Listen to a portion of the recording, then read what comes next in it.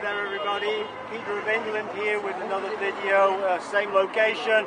As you can see behind me, lots of protesters here with uh, gilet jaune uh, jackets on, coming uh, from the motorway on ramp. Um, lots of uh, interested people here. Um, everybody protesting peacefully about the same thing. Um, these movements, as I mentioned before, are all the way through France.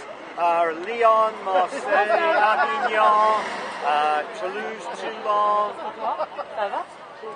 Paris, as we all know. So, the reason for filming today is to show the degree of support which is everywhere, and what we want to do is ensure that in the new year that this Gilets Jaunes movement gets brought over to, to England.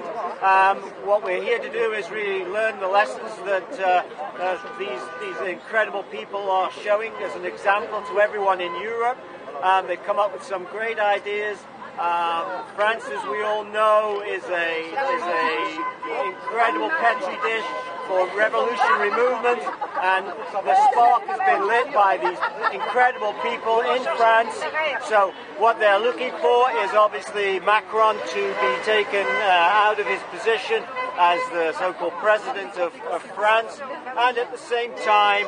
Uh, what we're hoping for is this movement which is spreading into Germany, that we remove Merkel, and in the new year we get Theresa May office. So that's Macron, Merkel, May, all to be taken out of office as a thank you to the Gilets Jaunes movement in France, which, as I say, a spark was required. Nobody else seemed willing to do it, but the French have delivered. So a round of applause and excellent to the French.